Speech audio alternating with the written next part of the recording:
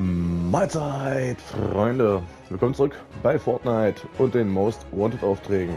Dieses Mal erreiche in verschiedenen Matches das höchste Fahndungslevel. Ja, das höchste Fahndungslevel ist Stufe 4 und um das Fahndungslevel zu erhöhen, müssen wir Kills machen und Truhen plündern.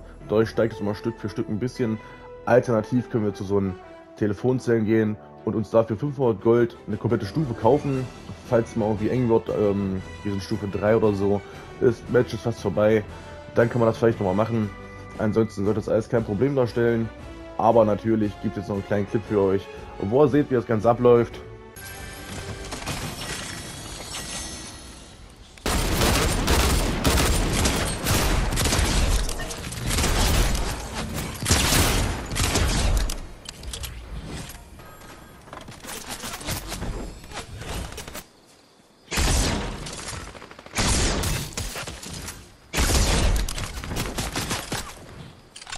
Und in diesem Sinne, ihr wisst Bescheid.